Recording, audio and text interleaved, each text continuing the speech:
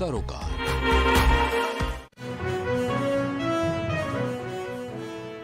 सक्ती में भगवा के विवादित बयान पर संग्राम बजरंग दल ने सीएम भूपेश का किया पुतला दहन।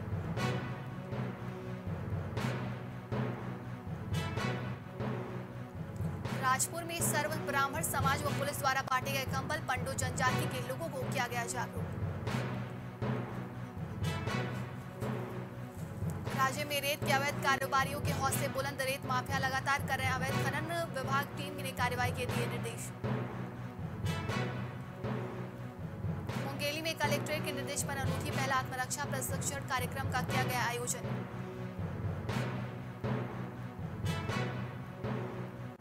कोरबा शहर को नशा मुक्त बनाने का अभियान, पुलिस चला रही है रन फॉर निजात अभियान।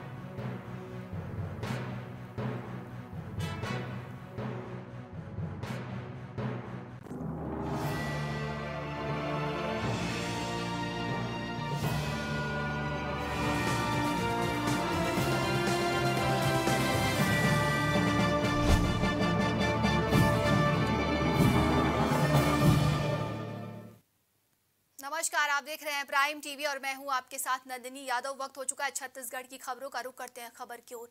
मुंगेली में कलेक्ट्रेट राहुल देव के निर्देश पर पथरिया एसडीएम प्रिया गोयल ने एक अनूठी पहल की शुरुआत की, जिसमें राजीव गांधी युवा मैदान के क्लब के माध्यम से पथरिया ब्लॉक के सैंतीस ग्राम पंचायतों में आत्मरक्षा प्रशिक्षण कार्यक्रम का आयोजन किया जा रहा है।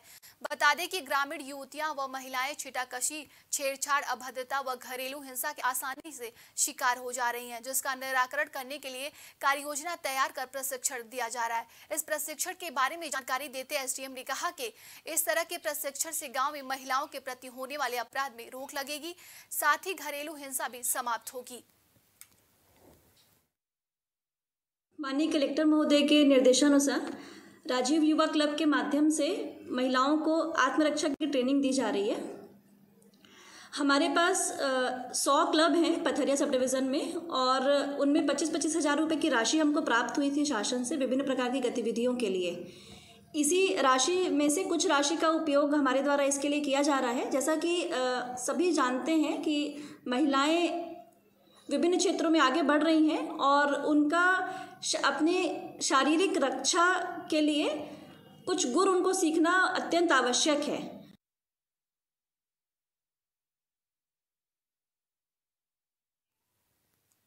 अखिल भारतीय पत्रकार सुरक्षा समिति के जिला अध्यक्ष सुशील बखला के साथ एक प्रतिनिधि मंडल अंबिकापुर पहुँचा और भाजपा के कदावर नेता ब्रजमोहन अग्रवाल से मुलाकात की।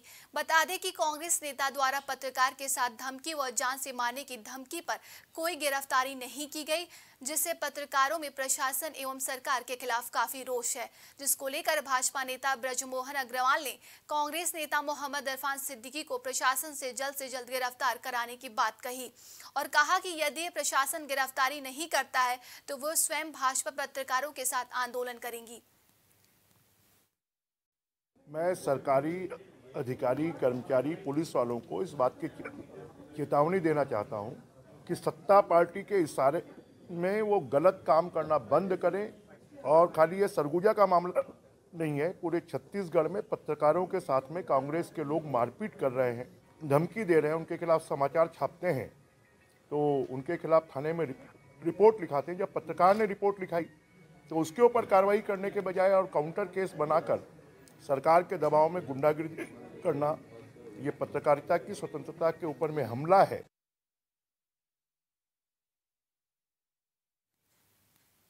कोरबा में बढ़ते सड़क हादसों पर रोक लगाने को लेकर ज़िले की पुलिस इन दिनों काफ़ी गंभीर हो गई है और रात्रिकालीन जाँच अभियान चलाकर यातायात नियमों का उल्लंघन करने वाले वाहनों चालकों के खिलाफ कड़ी कार्यवाही की जा रही है। पुलिस का मानना है कि नशे में वाहन चलाने के साथ ही ओवर स्पीडिंग के कारण हादसे अधिक होते हैं। यही वजह है कि जाँच अभियान चलाकर वाहन चालकों को हिदायत देने के साथ ही उनके खिलाफ चालान कार्रवाई की जाएगी।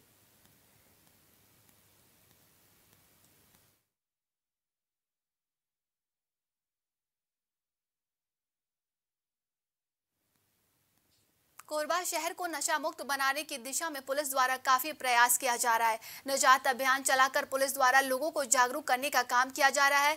इसी कड़ी में शहर में रन फॉर निजात का आयोजन किया गया, जिसमें पुलिस और जिला प्रशासन के अधिकारी, विभिन्न एनजीओ समेत स्कूल और कॉलेज के छात्र छात्राओं ने हिस्सा लिया और सड़कों पर दौड़ लगाकर लोगों से नशे के खिलाफ जागरूक किया गया।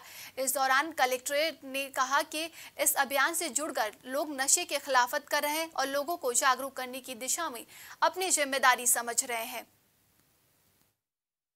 ज़िले में हम लोग अवैध जो नशा है, चाहे ड्रग्स, नारकोटिक्स हो, अवैध शराब हो, उसके खिलाफ एक निजात अभियान चला रहे हैं, जिसमें बड़ी संख्या में कार्रवाइयाँ तो हम लोग कर ही रहे हैं। साथ साथ जन जागरूकता के आयोजन भी किए जाना, आज उसी क्रम में एक निजात रन, नशे के खिलाफ एक दौड़ रखी गई थी, जिसमें शहर के सभी गणमान्य नागरिकगण, प्रशासन और पुलिस के अधिकारीगण विभिन्न स्कूल, कॉलेज के आए हुए बच्चे जनप्रतिनिधिगण इसमें अपने सभी ने सहभागिता दी, जो ये दिखाता है कि हम सभी कोरबा ज़िले को नशे के खिलाफ एकजुट हो रहे हैं और इसके खिलाफ हम लोग आने वाले समय में लड़ाई और तेज़ करेंगे। कोरबा पुलिस प्रशासन के द्वारा जो नारकोटिक्स ड्रग्स इस तरह के जो अवैध नशे हैं, उससे मुक्ति दिलाने के लिए, जागरूकता के लिए सतत कार्यक्रम किए जा रहे हैं।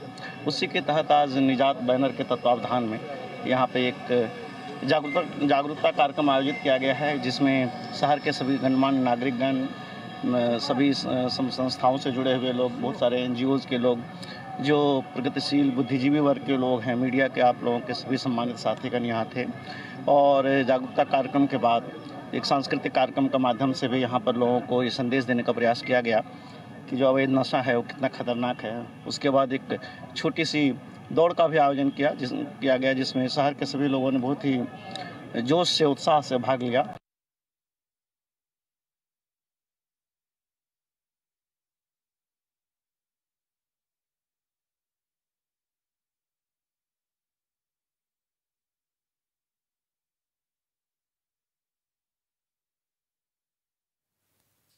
राजपुर में सर्व ब्राह्मण समाज पटना इकाई और पुलिस थाना पटना के द्वारा जरूरतमंदों को कंबल चादर बांटा गया। सर्व ब्राह्मण समाज पटना मंडल के अध्यक्ष के द्वारा संयुक्त रूप से अति पिछड़ा वर्ग राष्ट्रपति के दत्तक पुत्र कहे जाने वाली पंडो जनजाति के लोगों को कंबल चादर और बच्चे को चॉकलेट बांटकर जागरूक किया गया।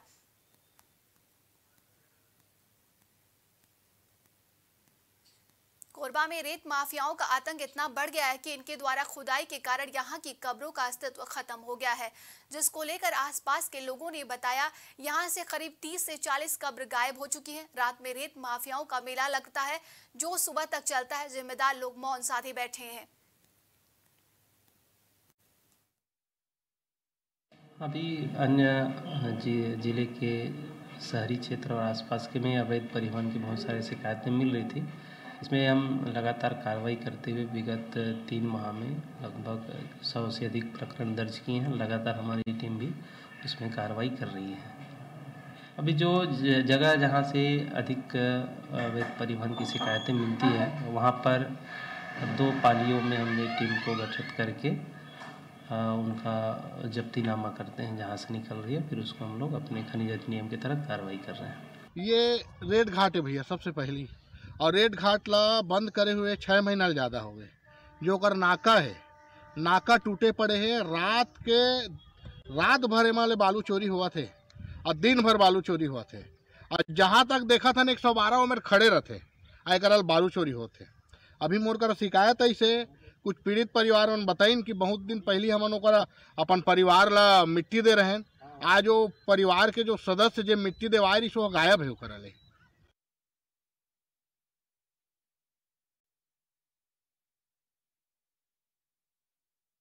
नमस्कार, मैं हूँ आलोक यादव। आप देख रहे हैं प्राइम टीवी, कोरबा जिला।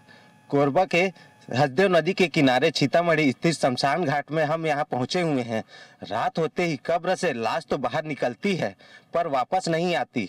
क्या है इसका रहस्य? तंत्र, मंत्र या विद्या? आइए जानते हैं यहाँ के लोगों से क्या बोलते हैं।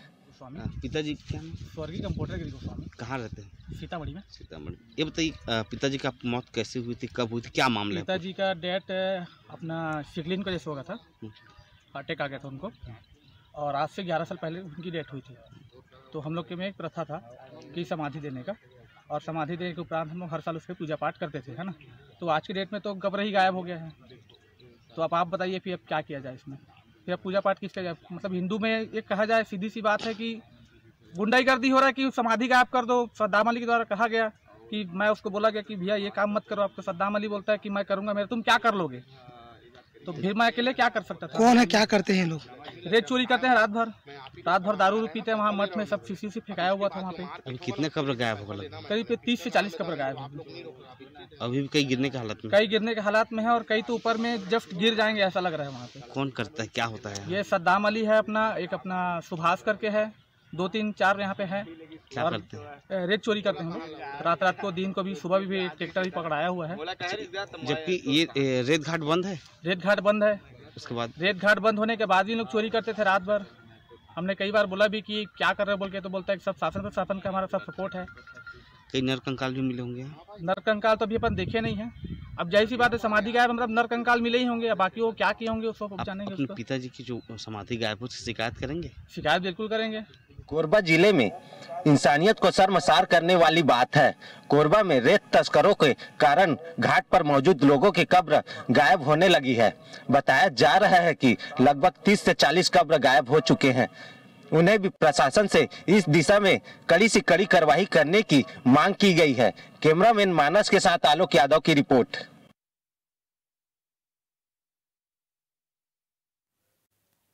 खबर जांजगीर चांपा से है, जहाँ पिकनिक मनाने गए आठ दोस्तों में से दो दोस्त पानी के तेज बहाव में हसदेव नदी में बह गए थे। और जिनके रेस्क्यू के लिए बिलासपुर से एसडीआरएफ की टीम और जांजगीर के गोताखोरों और स्थानीय मछुआरों की मदद से 26 घंटे बाद एक छात्र का शव बरामद किया गया है। वहीं दूसरे के शव की तलाश की जा रही है।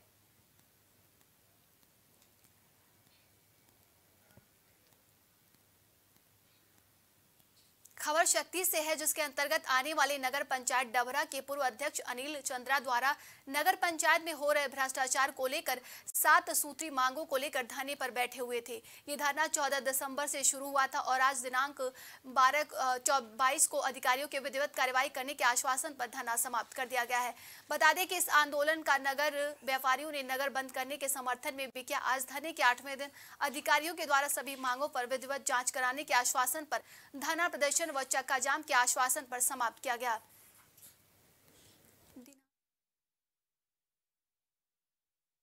मेरे द्वारा दिनांक चौदह तारीख को से सात सूत्री मांग को लेकर धरना प्रदर्शन पर बैठा गया था, जिसमें से पाँच पाँच काम का जाँच हो चुका है, जिसमें दो कार्य बचा है, रोड और नाली का, जिसको तहसीलदार साहब और टीआई साहब के द्वारा समझाइश दिया गया है कि 20 दिवस के भीतर कार्य रोड बनाने का और नाली बनाने का कार्य प्रारंभ हो जाएगा। अगर नहीं होता है तो नगरवासी और मेरे द्वारा उग्र आंदोलन किया जाएगा। और चक्का जाम की जाएगी। पूर्व अध्यक्ष श्री अनिल चंद्रा के द्वारा की गई शिकायत के संबंध में आदरणीय एसडीएम मैडम के द्वारा जाँच दल का गठन किया गया था, जिसमें जाँच की कार्रवाई अंतिम पड़ाव पे है और जाँच के और देखते हुए श्री अनिल चंद्रा जी को मेरे और टीआई साहब आपके द्वारा एसडीएम मैडम के निर्देशन पे आके समझाई दी गई कि आप, आपके जिन जिन मुद्दों पे आंदोलन किया जा रहा है, उसको समाप्त किया जाए। हम विधि पूर्वक और तथ्यों को लेके आप, आपके बिंदुओं का जाँच की जाएगी।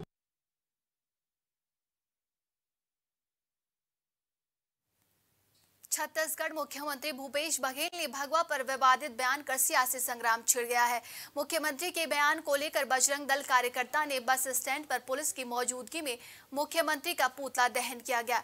इसी बीच पुलिस ने बजरंग दल कार्यकर्ताओं से मुख्यमंत्री का पुतला छीन लिया और बजरंग दल कार्यकर्ताओं में जमकर मुख्यमंत्री के खिलाफ नारेबाजी करते रहे।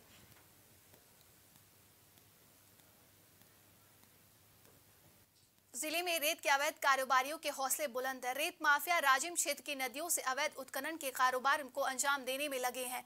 तो वहीं लंबे समय से रेत की खुदाई कर परिवहन करने से आक्रोशित ग्रामीणों ने महिला पंचायत प्रतिनिधियों के साथ कलेक्ट्रेट को लिखित में शिकायत करते हुए अवैध उत्खनन पर रोक लगाने का ज्ञापन दिया गया था, जिस पर खनिज विभाग के द्वारा कार्यवाही करते हुए अवैध खनन करने वाली चैन माउंटेन मशीन को सील किया गया है।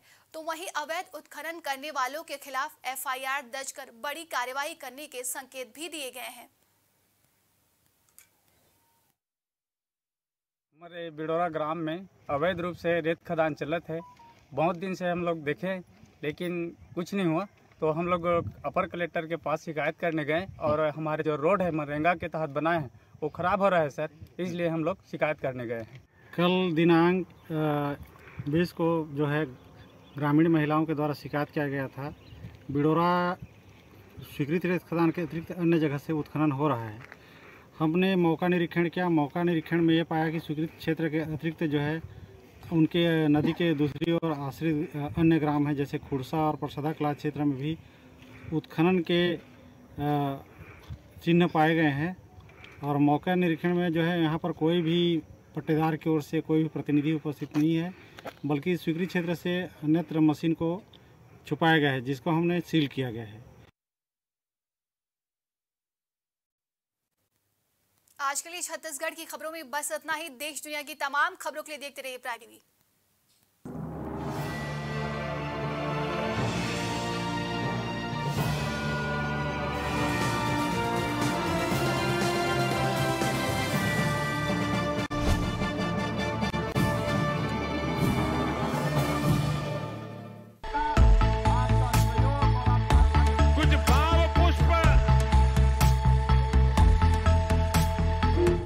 देख रहे हैं प्राइम टीवी सच साहस सरोकार।